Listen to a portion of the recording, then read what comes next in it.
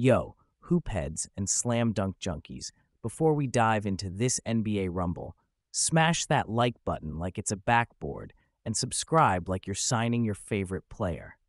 It's the Lakers versus Warriors, and boy, does this game have more layers than a seven layer dip at your Super Bowl party. The Lakers are rolling in with a 31 26 record, looking to stretch their winning streak, while the Warriors, sitting at 27 26, are bringing the heat with six wins in their last seven games. It's like watching two heavyweight boxers trading punches. Now, hold on to your jerseys because the prediction is in. Warriors are favored to snag the win, but expect the Lakers to bring the heat, making this a nail biter till the final buzzer. Why, you ask? Despite LeBron sitting this one out with an ankle saga, the Lakers have been showing some serious grit. But let's not forget, the Warriors have home court advantage, and Curry's shooting hand is hotter than a TikTok dance trend.